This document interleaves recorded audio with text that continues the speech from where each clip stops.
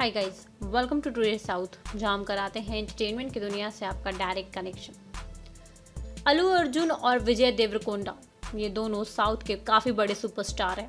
इन दोनों ने साउथ में बहुत ही अच्छी अच्छी फ़िल्में भी की हैं और अलू अर्जुन तो साउथ के काफ़ी ज़्यादा स्टाइलिश एक्टर माने जाते हैं। वहीं अगर बात विजय की हो रही है तो विजय भी स्टाइल में किसी से कम नहीं।